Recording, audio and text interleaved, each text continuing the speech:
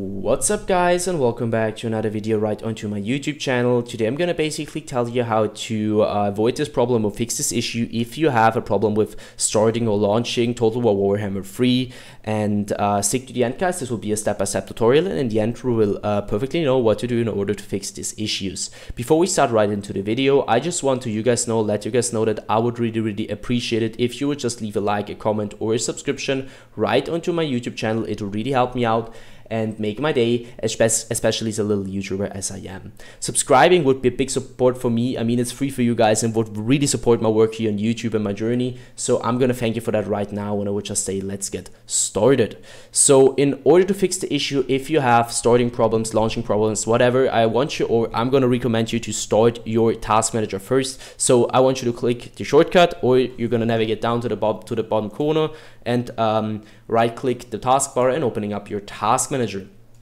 So once you're here, I want you to stick to processes and uh, search for, so you're gonna click one of those uh, processes and just type in war, so uh, W and search for Warhammer 3. And if it didn't pop up or it doesn't pop up, it's perfectly fine for you. You're not gonna do anything. And if something pops up, you're gonna right click and end the task.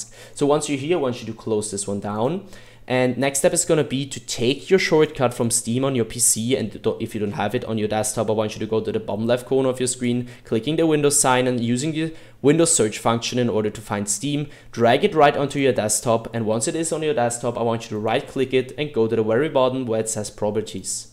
Once you, this window pops up, I want you to click on compatibility and basically just copy my settings. So um, you're gonna just, let's quickly run through it. I want you to uh, go to compatibility mode and enable run this program in compatibility mode for, select Windows 8, disable, dis disable full screen optimizations, as well run this program as an administrator. You're gonna apply that and hit OK.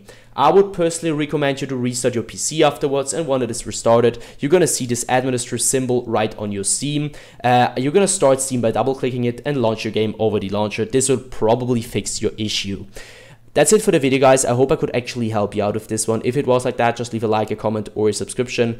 Uh, I'm gonna thank you for that. I'm really sorry if I couldn't help you, but I'm just trying to do my best in order to help you guys and uh, I'm just sharing what it fixed it for me and many others. So either way, I hope you have a wonderful day. See you at the next one and bye.